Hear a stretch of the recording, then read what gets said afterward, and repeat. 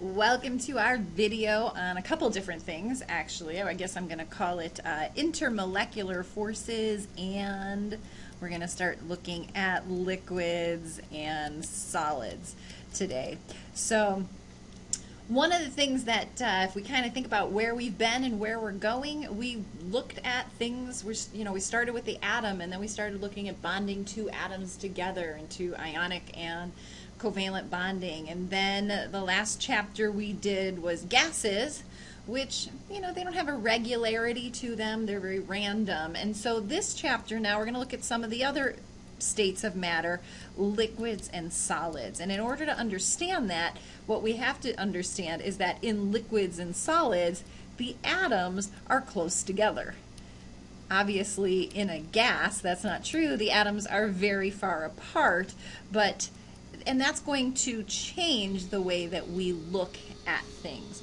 So, one of the first things that we need to mention is intermolecular forces. And this is going to very much play into the chapter when we dealt with the shapes and polarities of molecules. So, oops, and polarity. So if you need to go back and look that stuff up to remind yourself about that, you probably are going to want to do that in this chapter. So, intermolecular forces, commonly referred to as IMFs, is when we are talking about the attractions between molecules. And what those attractions, these are not bonds. These are literally attractions. And it's typically what we're talking about here are, are positive, negative attractions. So as you think about polar molecules, for example, it has a positive and a negative end. So just kind of a quick review of the different kinds of molecules that we have. Um, we have in our past talked about molecules that were nonpolar, in other words, they do not have a side, one side or the other that's positive or negative. We talked about polar molecules, and those molecules do have one end that's, you know, feels a little positive and one end that's negative, and nonpolar we don't. And then we have highly polar, which is, you know, we do have a positive and a negative end, but inside of it we have a hydrogen bonded to N or O or F. So we had those distinguishing characteristics to consider. So with this, we have three types of intermolecular forces that you need to be aware of that are going to be affecting solids and liquids um, as we go through. One is called dispersion. Well, you saw these perhaps in your book. One is called dipole-dipole, and the other is hydrogen bonding.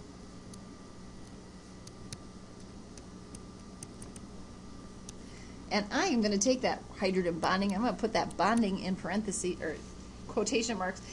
It, is called hydrogen bonding, but it is not a bond. It is still an attraction between molecules, so I want you to keep that in mind. Dispersion. Dispersion is a really weak attraction between molecules. All molecules have this, but not it's not that important for all molecules. And here, here's what happens. Let's say I have two nonpolar molecules, a hydrogen, one H2 molecule, and another H2 molecule. Well, those electrons are being evenly shared. These are nonpolar molecules. But in those nonpolar molecules, these electrons are not literally staying in one spot. They are moving. They aren't locked into place. And so there may be a moment in time where these two electrons, for example, maybe they just by chance happen to be found more on that side of the molecule. If that's true, that side of the molecule, just for a, whoa, go back, come, oh boy, everything's losing here.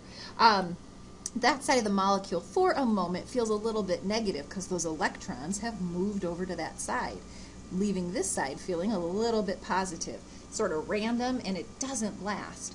But if that happens, this negative attraction actually causes these electrons to be repelled and they move over to this side and this side becomes positive. And what happens is there's actually a really weak attraction between the molecules. That weak attraction is called a dispersion force. All molecules have it because all molecules' electrons are moving and so they might, for example, have this spot where the electrons move over to one side. It doesn't last. It's basically what they call a momentary dipole. And it does cause other ones to form dipoles as well, and so that's where the attraction comes in. But it's momentary, so after a while, that little those electrons move back, probably more towards the middle, and that attraction goes away. So it's a very weak force for that. So that's important to know. And while all molecules have it, for nonpolar molecules, it's the only intermolecular force that they tend to have. Dipole, dipole. As the word di means two, pole is referring to magnetic poles, this is something that's found with polar molecules. And so an example of this would be something like hydrogen chloride if you check the electronegativity difference, this is a covalent bond between them. But chlorine is more electronegative, and so there is a dipole moment.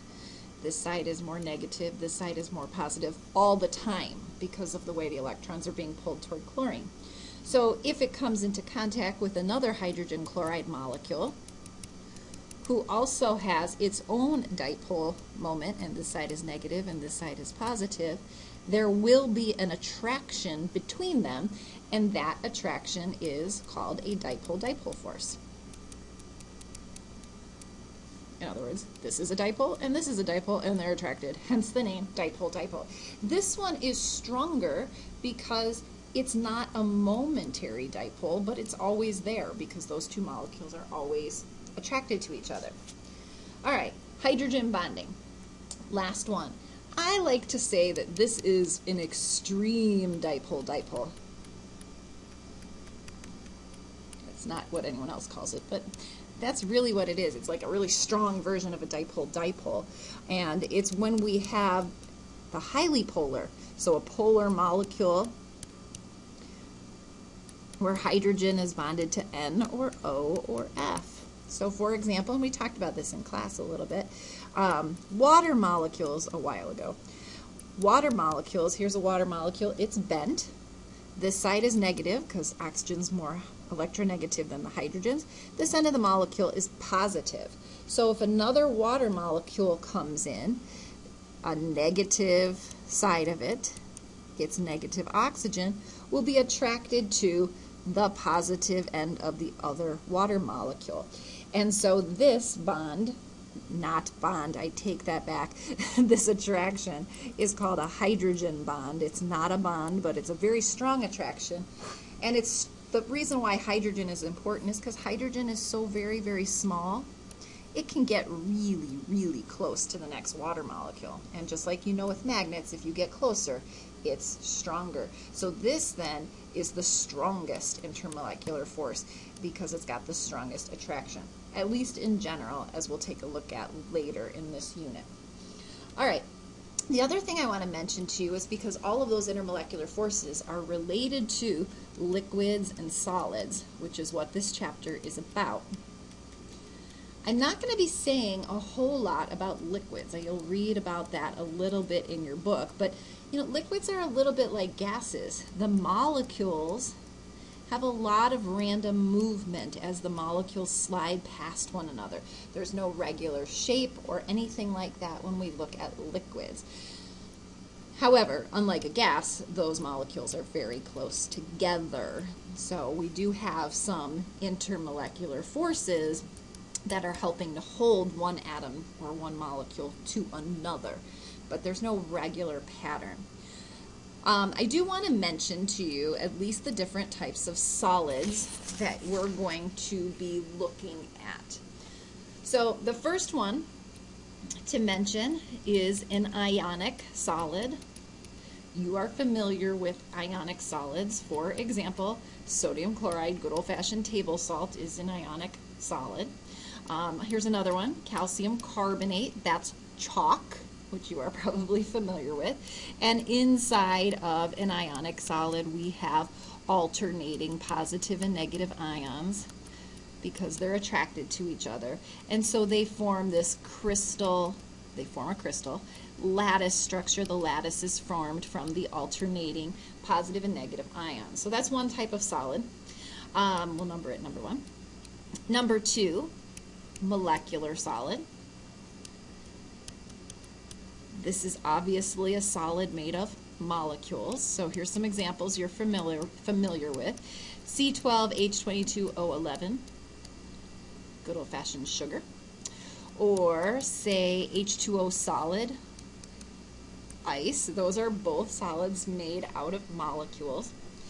And as before we move further in that, one of the things we have to consider is that in molecular solids, molecular solids have these intermolecular forces. Ionic solids do not have intermolecular forces because there's no molecules, right? But molecular solids do have intermolecular forces, and those intermolecular forces affect their properties. For example, one of the, the, simple things that it could affect are simply what state of matter you're likely to find it in, solid, liquid, or gas. So here's a little diagram.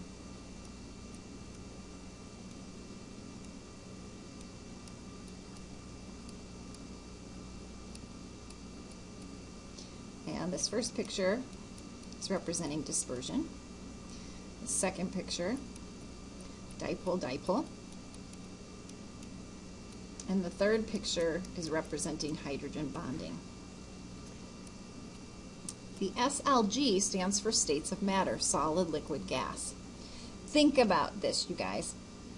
Dispersion forces are really, really weak, so the molecules are not, whoa, let's spell that right. The molecules are not held together well. So they're probably not going to hang on to each other very much which means the vast majority of molecules that have only dispersion tend to be gases because they're not held together very strongly. Fewer of them tend to be liquids, and a tiny amount are solids. For example, carbon dioxide gas. It's nonpolar. It has dispersion. A lot of gases are like that. However, iodine, which is a solid, happens to also be nonpolar. So we can still have solids that have dispersion, it's just there's far fewer of them. Dipole-dipole, similar idea. Lots of dipole-dipoles tend to be liquids, these kind of moderately strong forces. Fewer of them are gases and fewer of them are solids. And in hydrogen bonding, strong bond holding those molecules together, lots of things with hydrogen bondings are solids, like a lot of sugars taken biology, there's an awful lot of sugars out there.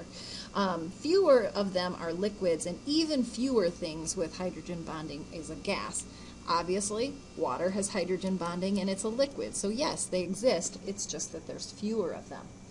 Some of the properties that could be affected by intermolecular forces, boiling point, how easily those molecules can separate from each other, freezing point, how easily those molecules can be attracted to each other, vapor pressure, how easily something can evaporate.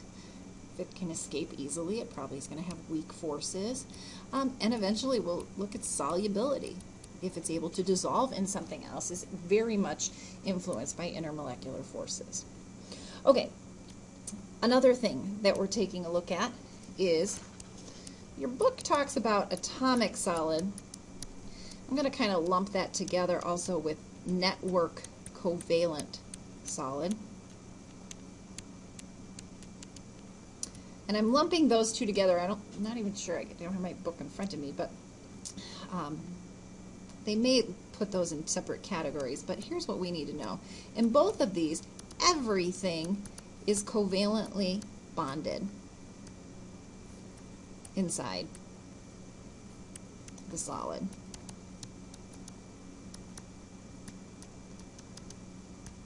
everything. So there's no intermolecular forces because there's not actually any molecules in it. So for example, diamond is something you're familiar with. And in diamond, there's no molecules. Literally, it's all made of carbon, and it happens to be all tetrahedral shaped. But each carbon then is tetrahedral shaped to other carbons all the way through the entire diamond crystal. And so there's no molecule. So it's the only thing holding everything together are all of these covalent bonds, which is one of the reasons why diamond is really, really strong. Whereas an ice cube, which has covalent bonds and intermolecular forces, is far less strong. It's easy to break an attraction like an intermolecular force. It's a lot harder to break a bond. And then the last one, a metallic solid. So for example, copper, gold, silver, etc. Take a look at your periodic table. Here's the general idea of how metals work. They're a little different. Let's say this is a piece of copper wire. And let's we'll just we'll, let's just say it's a piece of metal wire. We'll even be just generic about it. Well, what happens is with this metal is the electrons that the valence electrons are what they call delocalized, which is like a fancy word which means they have no location. So what happens is let's say we have a metal and it's got two valence electrons. The two valence electrons separate from the metal.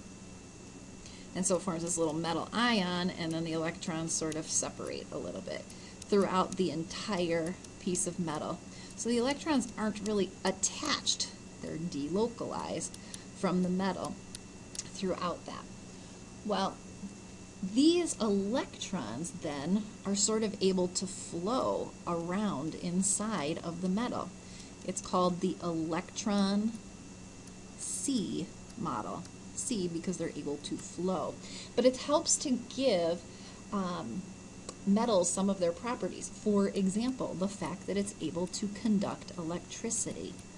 Electricity is just the movement of electrons. So if I put an electron in this side, what happens is that electron could go and bump an electron, which will bump another, bump another, bump another, bump another, all the way through until out the other end comes an electron. And that is called conducting electricity. And it's because those electrons are delocalized, in other words, they're loose. That's another way to put it. Uh, these loose electrons can just kind of bump through in a domino effect and come out the other side. So that kind of summarizes some of the solids. We're going to be looking more at intermolecular forces um, and their effect on properties, especially solids, but also some liquids in class. So have a good one.